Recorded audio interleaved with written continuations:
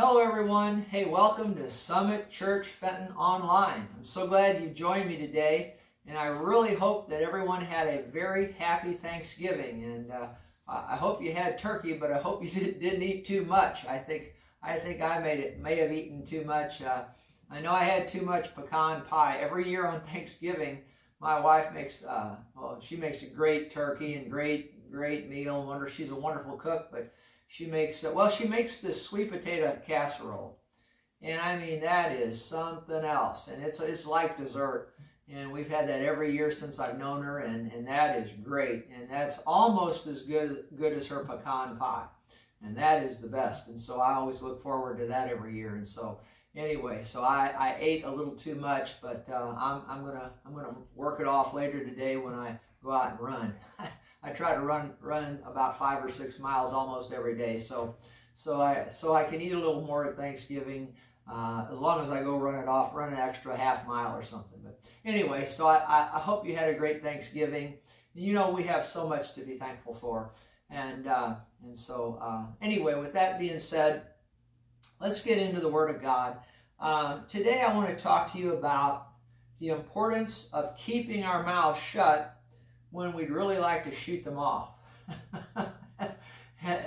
Is anybody out there like me that you, you wanted to shoot your mouth off at times? I tell you what, uh, I know I have, and uh, there's some times I've shot my mouth off and I shouldn't have. And so uh, uh what I want to do is I want to talk to you today about uh, the importance of keeping our mouths our mouths quiet, keep it, keep them, keeping them shut, when we really like to shoot them off. And so I'm titling this message, Bite Your Tongue. Bite, you know, bite your tongue. You know what that means. When someone says bite your tongue, that means be quiet, don't say anything. And uh, and so let's let's go into the Word of God and see what the Word of God says about biting our tongues and uh, keeping quiet. So in James, the first chapter and the 19th verse, uh, the New International Version says, My dear brothers, take note of this. Everyone should be quick to listen, slow to speak. Now listen to that, slow to speak. And, uh, and, and I, I've, I heard somebody say this years ago, and it's so true. We've got two ears and one mouth. We ought to do twice as much listening as we do talking. But the Bible says here that we ought to be slow to speak. Or we'll put it another way, we ought to be quick to bite our tongues and stay silent. Uh, because, you know, shooting our mouths off can, can get us in a lot of trouble and it can, can hurt people and, and make, make situations, uh, you know, shooting our mouths off can make a bad situation even worse. And so, so anyway, that's what I want to talk to you about today. And, you know, of course, we're approaching Christmas. And, and have you ever heard that song, 12 Days of Christmas? Well, with that in mind, I want to give you 12, 12 areas or 12 things that the Bible says are 12, 12 situations the Bible gives us in which we ought to bite our tongues. Now, there may be more than these 12 that I give you, but if you do these 12, it'll, it'll get you a long way down the road, okay? So let's see, let's, let's look at 12, uh, 12 situations we can get in where we ought to bite our tongues. The first one is when, uh, when we have no idea what to say about a matter. When we have no idea what, what to say. We have no, no idea. We have no uh, educated uh, uh means by which or no, no we're, not informed on an issue. And, uh, and, and the Bible says in, in that case, we ought to just keep quiet. You know, uh, Proverbs 17 verse 28 New International Version says, even a fool is thought wise if he keeps silent. Now you think about that. A fool. Even a fool is thought to be wise if they keep silent. And, uh, and then, and discerning, the fool is thought to be wise if he keeps silent, and discerning if he holds his tongue or bites his tongue. Now you think about that. A fool, the Bible says, can look smart if he'll bite his tongue, if he'll just keep quiet. And, uh, and, you just think about that. You know, if, if you don't know something about a certain issue or a certain matter, and, and you don't say anything, nobody nobody will know that you don't know anything about that. You know, the Bible says if we'll bite our tongues, that that even a fool, if he'll bite his tongue and stay quiet, can look smart concerning a situation. So the first one is is if you're in a situation and you just have no, you know, you, you, you don't know anything about it. And I've been in a lot of those over the years myself where I was in a situation, I knew nothing about it you just stay quiet. Just stay quiet. And you know, other people they may think you're the smartest one in the room, but you don't know anything about about that about that situation. So so let's learn to bite our tongues when we have no idea, no in no, no educated opinion uh, whereby to speak. Just just stay quiet. Everybody will think you're smart. Okay. okay. So so so that's the first the first area to bite our tongue when we have no idea no, no education really on a certain situation from which to speak. Then the second uh, thing is, is when we're wrongly accused. When we're wrongly accused. And I think all of us over the years, at one time or another, multiple times maybe, have been wrongly accused of things that we didn't do. And, and notice 1 Peter 2.23, 1 Peter 2.23, New International Version, says this when they hurled their insults at Jesus, he did not, watch this, he did not retaliate. When he suffered, he made no threats. Instead, he entrusted himself to him who judges justly. Now, you know Jesus, our Lord, our Savior, he was perfect.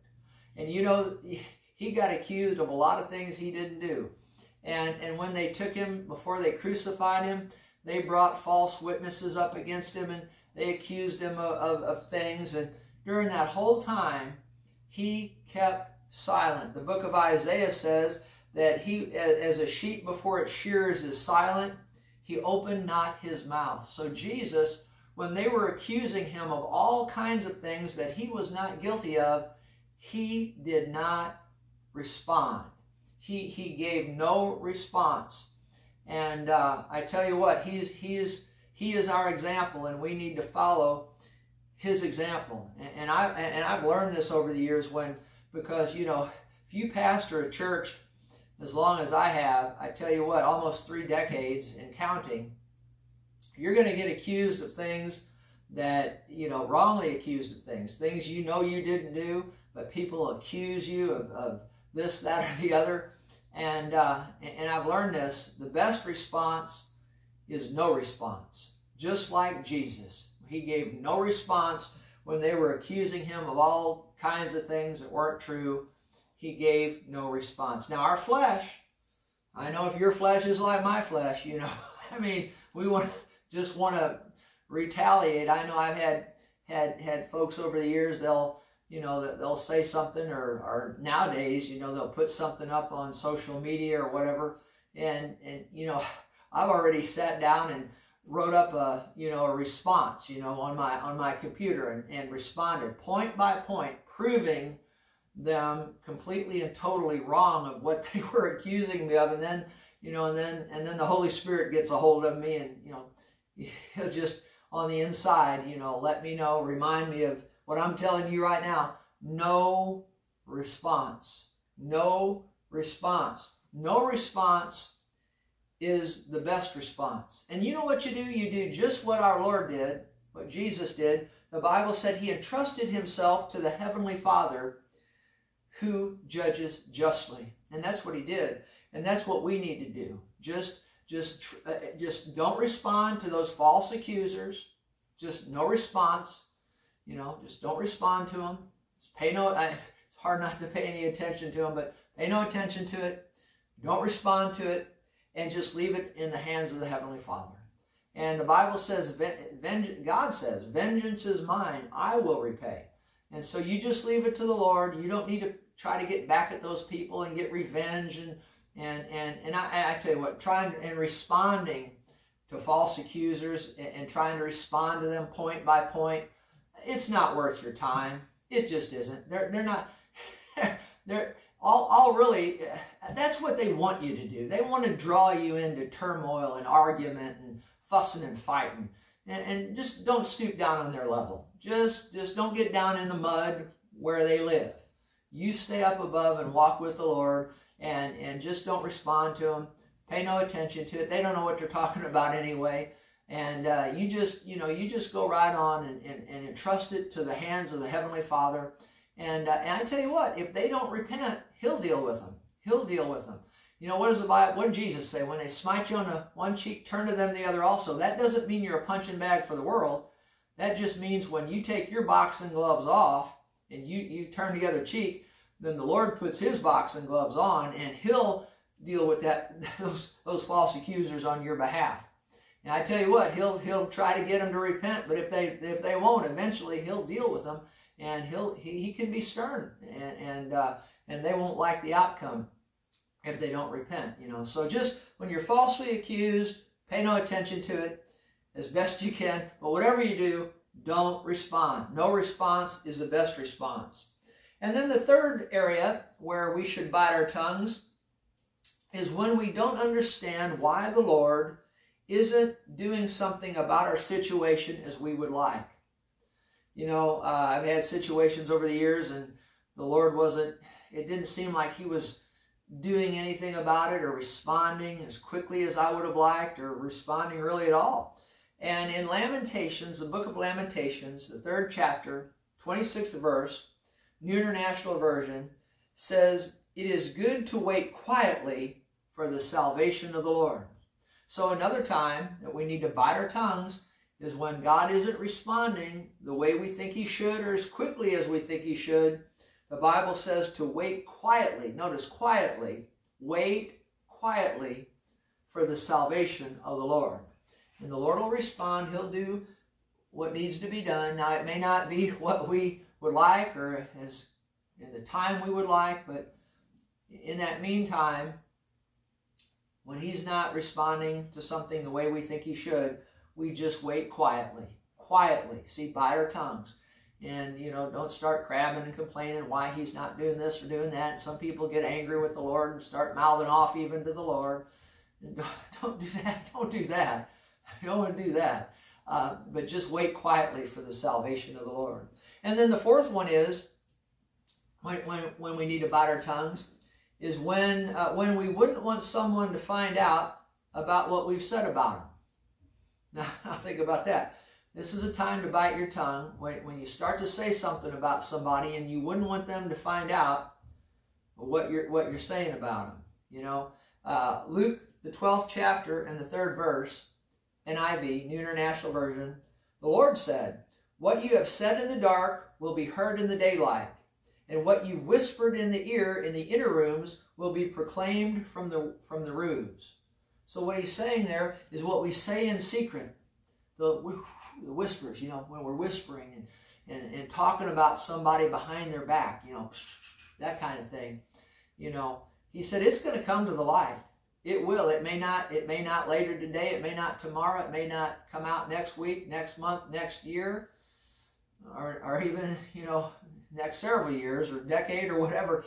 But his words are true, and eventually it'll come out. He said, "What you've said in the dark will be heard in the daylight. What you've whispered uh, uh, in the ear in the inner rooms will be proclaimed from the roofs.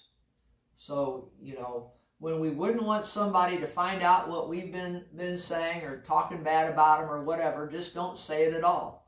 You know, something that I've tried to practice in my life, when I start talking, you know, uh, uh, uh start talking about somebody, but when I'm talking, when someone comes up in a conversation and somebody asks me about so-and-so or whatever, and believe me, that comes up when you, when you pastor a church. What I've tried to practice is this. When I respond, when somebody asks me and they say, they say well, what about so-and-so? Well, when I give a response, if I give a response, when I give a response, I always try to do it as though that person that isn't present, I pretend that they are. Just pretend that they're in the room. And so, so the response I give to this person over here who's asked me about so-and-so, uh, I give the response to that person as though that other person were right there in the room. And you know that that'll that'll keep you out of a lot of, a lot of trouble right there, uh, because I'll guarantee it to you. whatever you say to so and so over here about so and so over there, eventually so and so over there is going to find out about it. So, so if you say something in private that you would have nobody, you would have no problem with anyone hearing it in public, then you're in good shape. So, so the fourth thing on the list here, 12 things that you need to bite your tongue, situations in which you need to bite your tongue, is when you wouldn't want, you know, eh, let me just read here, when you wouldn't want someone to find out what you've said about them, you know, uh, behind your back, so to speak. So uh, it's a good time, and, actually, you know, most of the time when somebody asks you about so and so, just bite your tongue. Just just don't say anything. Just just you're better off. But sometimes I'm just telling you, especially when you're pastoring a church and someone asks you about this situation over here, you know, I think you get what I'm talking about. Sometimes you, it, it is helpful to give a response, but just respond in such a way that if it came out public, what you said, because it will, according to the words of the Lord, that, that when that person you're, you're discussing, they find out about it, they'd have no problem with what you said. Okay? So do that, and it'll, it'll get you a long way down the road for the good. And then the fifth area is when you need to bite your tongue is when you don't really mean what you are saying. I think we've all been guilty of this at a time or two when we, we say things and we don't really mean what we're saying. Ecclesiastes, the fifth chapter and the fifth verse, Ecclesiastes 5 5 in the NIV uh, version says, It is better not to vow than to make a vow and not fulfill it. It's better not to vow than to make a vow and not fulfill it. So, you know, just just say what you mean and mean what you say. And uh, and and uh, just a good example, you know, like like lunch, lunch. You know, you tell somebody, "Oh, we'll go to lunch sometime," uh, you know, and you may have no intention of ever going to lunch with that person, but you just being nice and whatnot. You say, "Well, let's go to lunch sometime. We'll go to lunch sometime," but you have no intention of, of, of going you know, and and then and then down the road they, call you up and say, hey, you told me you'd go to lunch with me, and then you're kind of like, ha ha ha ha ha you don't really want to go, but you gave your word, and you know, uh, I, I, tell you what, that, that's that's that's an example. I could give several others, but uh, oh, here I'll give you one. Here, here, this is a good one. This is a good one. I, so don't tell somebody you're going to go lunch with them if you're not really going to go. But here's another. Here's a good one. I just thought of a good one. Uh, I've stood at the door for some 27 years, greeting uh, visitors as they as they you know they visited, they're leaving, and they'll say Oh, Pastor, that was this church is first time visitor now. Oh, this is the greatest church ever. This is a wonderful church. My first time here today, and all oh, your message was wonderful, and I just this the worship moved me, and it was just oh, it was just great. I will see you next week, and and you will see me every week here. Every time the door is open, you will uh, you will see me. and then you never see them ever again. And you think, oh my gosh, you know, and and so they, you know, it would, you know, I'd have more respect for them if they would have never said anything to me about coming back than to tell me they're coming back and then and then they never do. Uh, I'm thinking of another fella. He told me, bless his heart, but I got a lot of respect for this guy. He said this. He said, "Don't ever look for me to come to your church because you're never going to see me there." Now, it's sad that he said that. I would, I would have wished that he would have come. But he told me many years ago, he said, Don't ever look for me to be at your church. I'll never be there. And you know what? He, I got a lot of respect for this guy because you know what? He never did show up. Now, I wish he had, but you get my point here. He told me the truth. I can handle the truth. You know, I can handle the truth. Like in that one movie, I can handle the truth. Just tell me the truth. He told me the truth, and I've got more. And, and he was not a saved individual. Sad to say. But he told me the truth. Now I've got more respect for him than these Christians that have come to visit over the last three decades, just about, you know, and they come, they say, these visitors, and they'll say, oh, we'll see you next week. Love this church. See you next week. You don't ever see him again. See, I don't have, I don't have any respect for that. So mean what you say, say what you mean, and it's better not to vow than to vow and not fulfill it. All right, so if you don't mean it, don't say it. Don't tell somebody you're going to go lunch with them if you, if, if unless you intend to go to lunch with them someday, okay? Anyway, anyway, so then the, then the sixth thing, the sixth area where we need to bite our tongues is when we're disgruntled with our tasks. The things we do every day, whether it's your job or whatever it is, your daily tasks. The Bible says in Philippians 2.14, again, the New International Version, says, do everything without complaining. Do everything without complaining. So, tell you what, in your everyday tasks, you know, you start complaining, bite that tongue. Stop complaining. Don't complain. Bite your tongue. Uh, you know, you're gonna when you start complaining, you know, bite that tongue. All right, and don't say anything because the Bible says to do everything without complaining. All right, so now we're halfway there. Let's keep going. We've got six areas we've looked at where we need to bite our tongues. Now, number seven is is this. Uh, we need to. Let me read from my notes. A wrong word at the wrong time can be disastrous. A wrong word at the wrong time can be disastrous. And uh, let, let me read here. Proverbs 15, 23. This is the New King James Version. Says this. A word spoken in due season, how good it is. See, you can speak a, a, a, a word, a right word, at the right time and it's very, very good and, and can, can do wonderful things. But the reverse of that's true. A, a wrong word at the wrong time can be disastrous. And, uh, and, and I, I've watched over the years and I've watched people speak the right word at the right time and it just brought such wonderful, wonderful uh, uh, results. But I've also watched people, and, I've, I've done it myself. I've spoken the right word at the right time. It was just a blessing. And then I've watched other people, I've done it myself, where we've said the wrong thing at the wrong time, and it, it just made a, made a bad situation worse. So, uh, so, you know, just realize that be sensitive to the Holy Spirit and, and don't speak a wrong word at all, but certainly don't do it at, at the wrong time. Um, you know, if and I, have trained myself over the years to be real sensitive to, to the Holy Spirit and in a situation, and I, I start start to speak, and I've had him a, a, few times over the years, several times, just check me on the inside, you know, just where I was going to say something, and and and and I, I didn't say anything, and uh, boy, I, I was so glad I did because it would have been the, the wrong word at at the wrong time and uh, it would have it would have made a, a, bad situation worse. You know, Proverbs 25, 11, this is in the message translation. It says, the right word at the right time is like a custom-made piece of jewelry. Now you think about that. The right word at the right time is like a custom-made piece of jewelry. You know, and a custom-made piece of jewelry, that, that's a nice thing.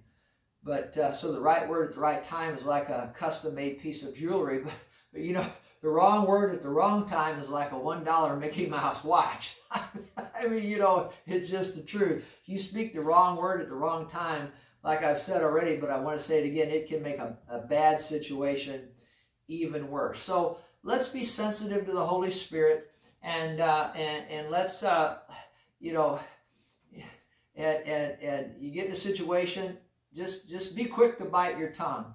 Uh, uh you know, there's been so many times when I've walked away from a situation and, and, and I said, "Oh, I'm so glad. I'm so glad I didn't say say such and such at that, you know, in, in in that meeting or whatever it was, because it would have made a bad situation worse." So let's be sensitive to the Holy Spirit.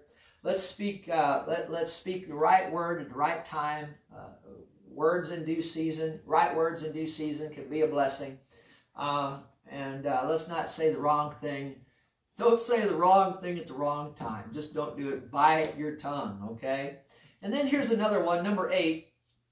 Time to bite your tongue is when you're angry. Is when you're angry. Uh, Ephesians 4, 26 in the NIV says, In your anger, do not sin. See, we all get angry. The Bible says we can be angry and, and sin not. I mean, anger is an emotion. It's a human emotion. We just like we get happy, get sad, you know, we can be angry. the important thing is, is when you get angry, if you get angry, don't feel badly. You're just human, okay? Like everyone else. You're, we all get angry at times. The important thing is, is when you get angry, not to sin. The Bible says, in your anger, do not sin.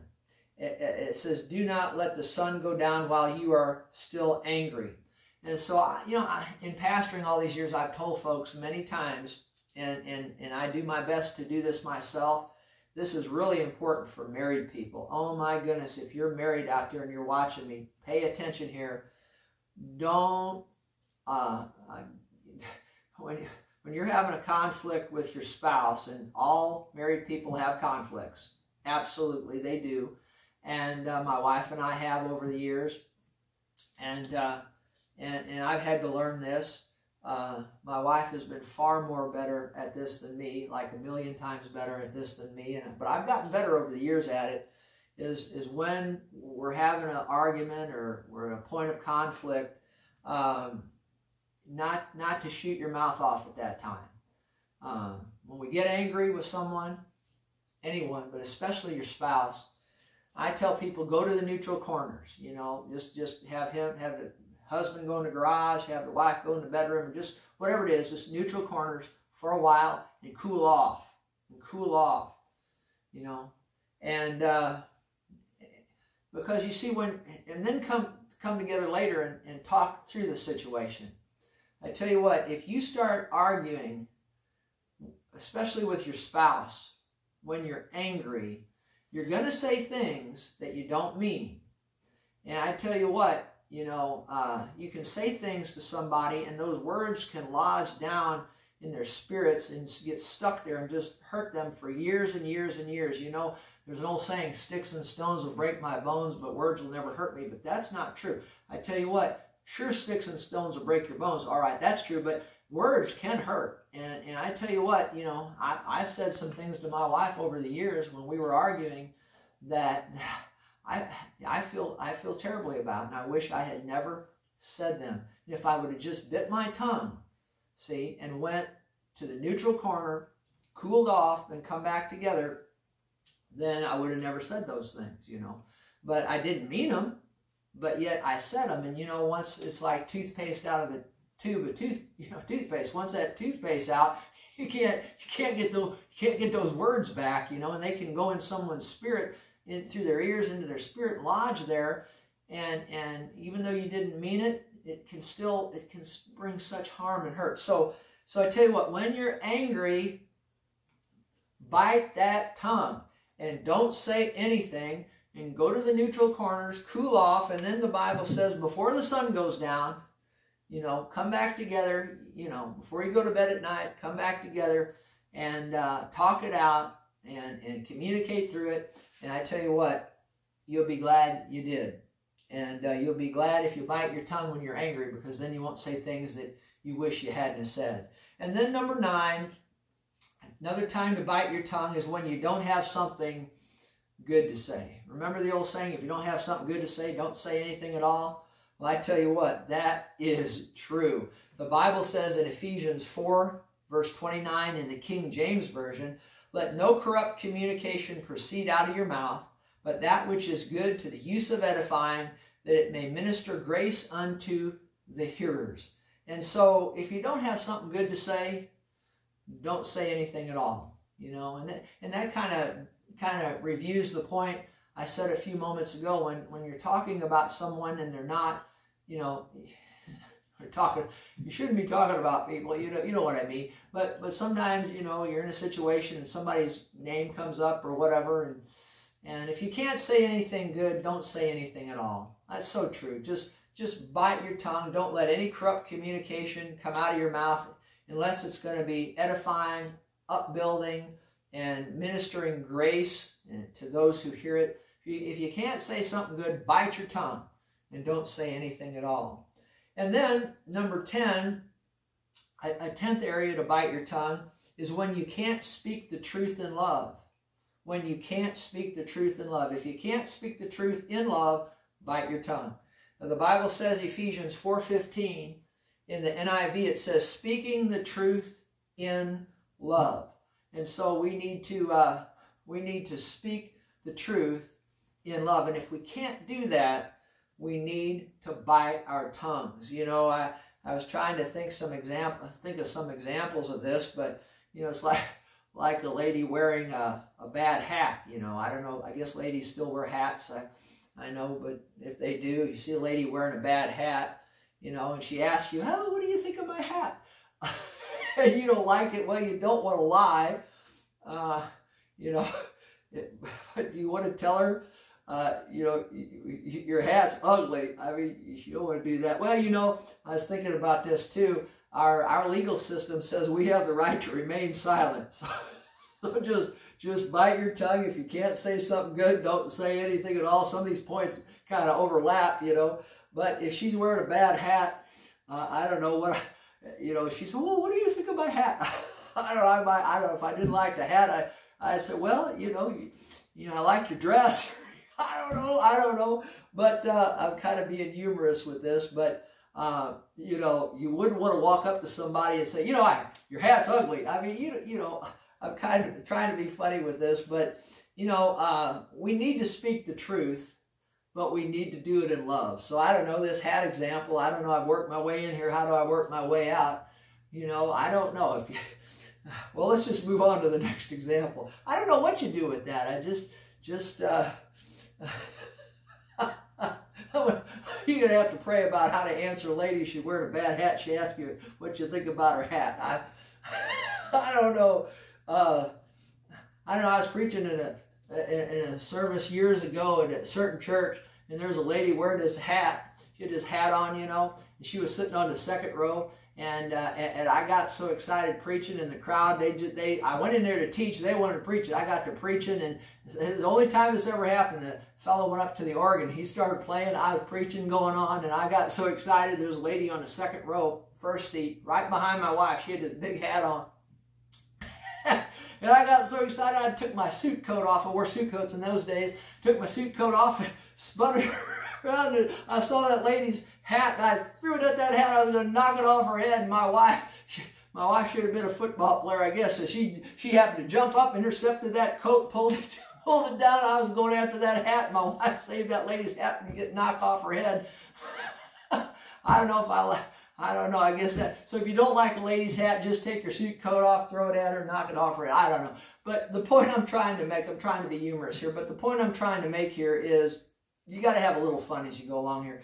Uh, or it can get boring and dry and dull. So we don't want that to happen. So uh, look, speak the truth in love. Um, you know, um, let's get off that hat example. I'm not going anywhere with that. But uh, speak the truth in love. If you can't say something good, don't say anything at all. But but look at this. Think about this. I've learned this. Now let's be serious here for a moment. It's best to tell people how you feel, even if it's blunt, as long as it's true, in a calm way. Now listen, now I've been joking around here about that hat, but listen here. This is, this is going to help you.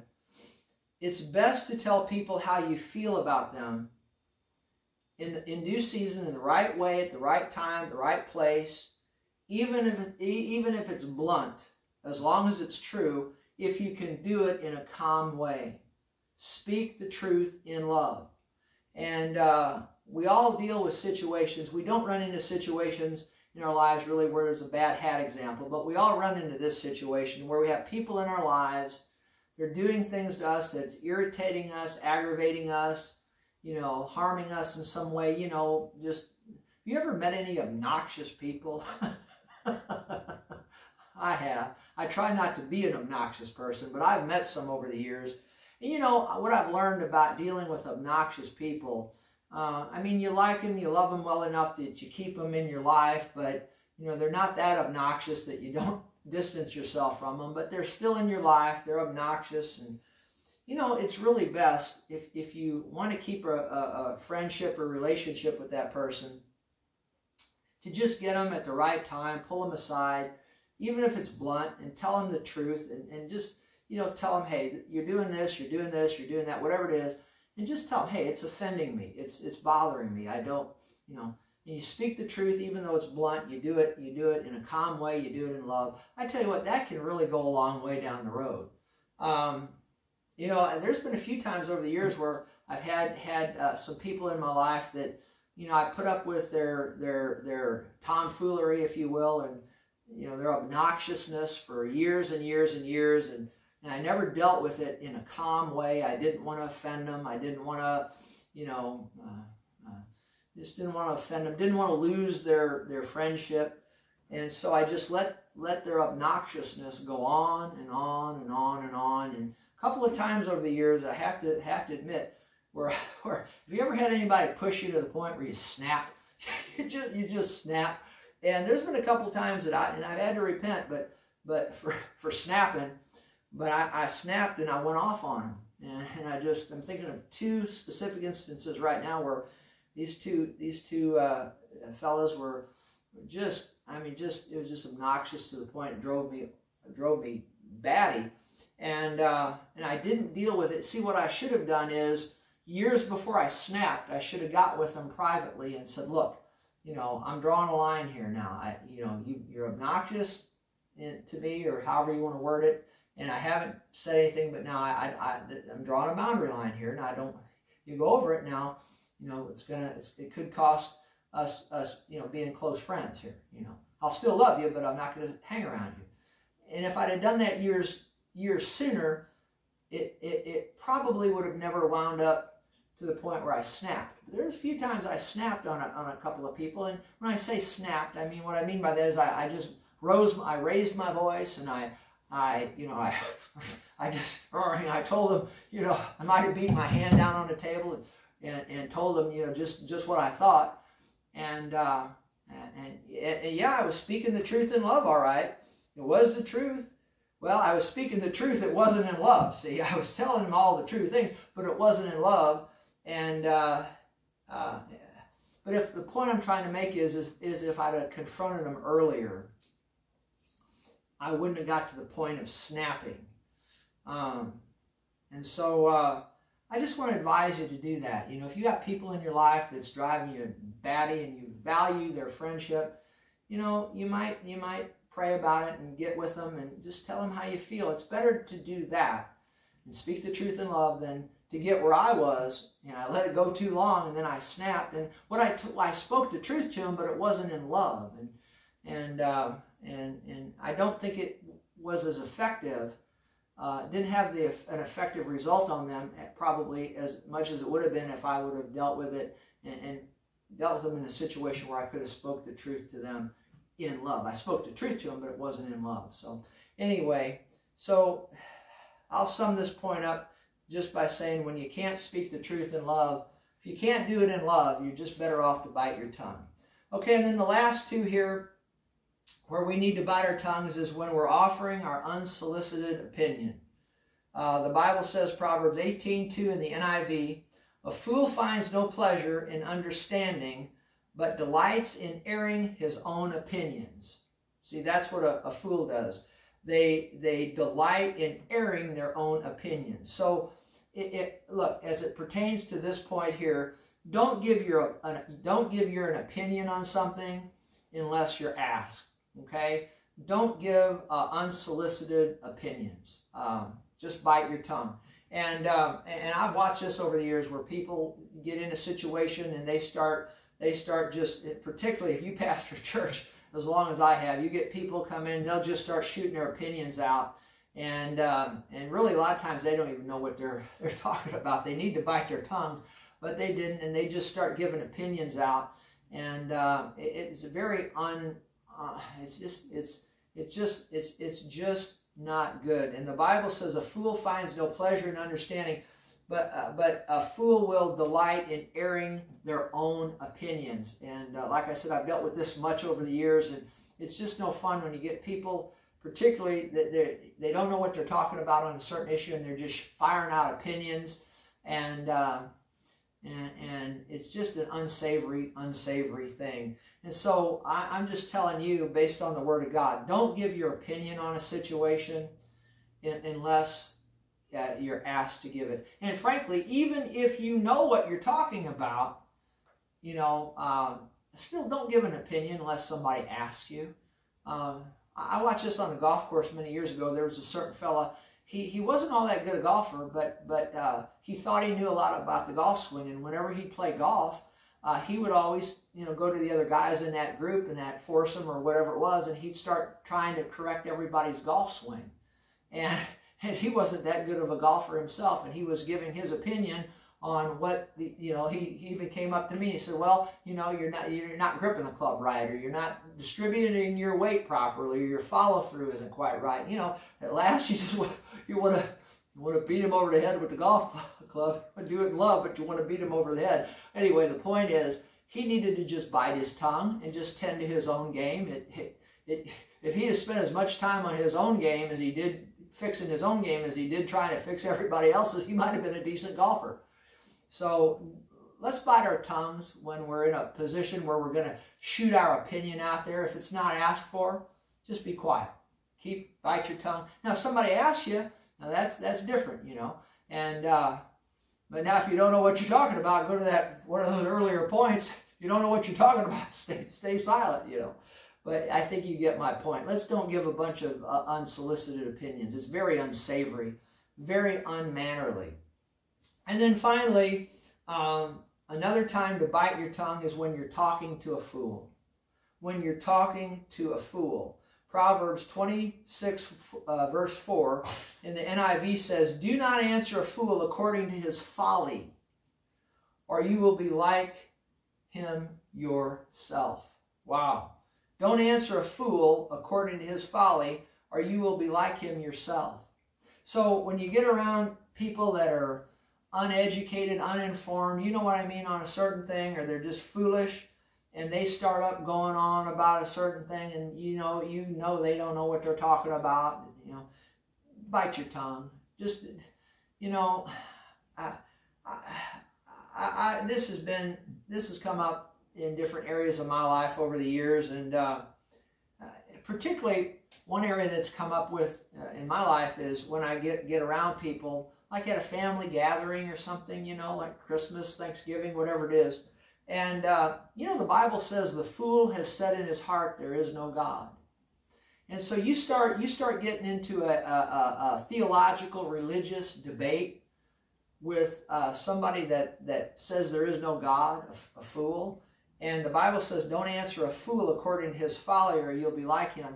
You know, I've been in family gatherings where people, they'll, they'll you know, they, they don't believe in the Lord, but they'll start, you know, giving their their opinions on on you know certain biblical issues or whatever, and uh, and and you know, I, and I'm sitting there now. When I was younger, I didn't. I, I didn't know all what I know now, and so I'd get right in the middle of, of, of the discussion, and I'd start giving them you know, by chapter and verse, right from the Bible. And we'd go round and round and round and round and round and round and round and round and round. And, you know, by, by the time we got done, they were no better off. And I was, I was frustrated and frazzled and, and uh, it didn't cause them to come to Christ, you know. It just, it just, it was just a miserable time. And they're still just as confused and foolish as they were when we started. And I'm all frazzled and, and so what I've learned to do over, over the years is this verse right here, Proverbs 26, 4. Do not answer a fool according to his folly. Fool has said in his heart, there is no God. And so when I'm at a family gathering and somebody starts, you know, saying things that are just out of line with the principles of faith or out of line with the principles of the Bible, you know, I just sit there quietly and uh, don't say a word. I, I just may pray quietly for them or whatever. Now, if somebody asks me my opinion, I'll speak the truth in love. But otherwise, I just bite my tongue, don't say anything. And, and I tell you what, uh, uh, you're better off just praying for somebody uh, like what we're talking about than trying to get into a theological debate to try to straighten them out, you know, when, when they don't even believe in God to start with. So I think you get what I'm trying to say. Uh, don't debate with a fool. Don't get into a debate with a fool. I, I, I used to when I was younger. I'd get in all these theological debates with people, and and uh, uh, uh, particularly as it pertained to the baptism in the Holy Spirit, you know. And I got into all. I, I'm thinking of a friend of mine when I was younger, and and he thought the baptism in the Holy Spirit had passed away. He was saved, all right. He believed in the Lord Jesus Christ as his Savior, but he thought the baptism in the Holy Spirit had passed away. And I got into all kinds of debates with him, and and uh, and that's been over 40 years ago. He just he, he just didn't know. Uh, he just he just didn't know what the Bible said about the about the issue, and so uh, uh, I just you know, and after years of, of, of, debating him, I could see he was foolish on this topic, uh, the baptism of the Holy Spirit. So I just stopped, and I notice all these years later, as far as I know, he never has been baptized with the Holy Spirit. He's going to heaven all right, but but all, I, what I'm trying to say, all my debating with him did did no good. Uh, don't answer a fool according to their folly on any subject, whether it's a biblical subject or whatever subject it is. Just, uh, just bite your tongue. So, hey, I hope this helped you today. Uh, it's been a uh, blessing uh, being able to share this message with you. So, I just want to conclude by saying, hey, you know, take these points. If, if, I know that there's a lot of them, but the good news is you have me online here. You can go back and back me up and listen to them and meditate on them and uh, put these into practice and learn to bite your tongue. And I tell you what, you'll be glad you did. Hey, if you're out there and you don't know Jesus as your Savior, there really is a heaven to gain, there is a hell to shine. And the only way to miss hell and make heaven is to repent uh, of your sins and from your heart cry out to the name of the Lord Jesus. The Bible says whoever calls on the name of the Lord will be saved. So do that now. You'll be glad you did. Let us know you did. You can contact us there. Uh, look on the screen. Our information is right around where I'm preaching here. And, and uh, if you receive Jesus, hey, reach out, let us know, and, uh, and we'll be glad to hear from you. Okay, God bless you, and we'll see you again next Sunday. Bye-bye.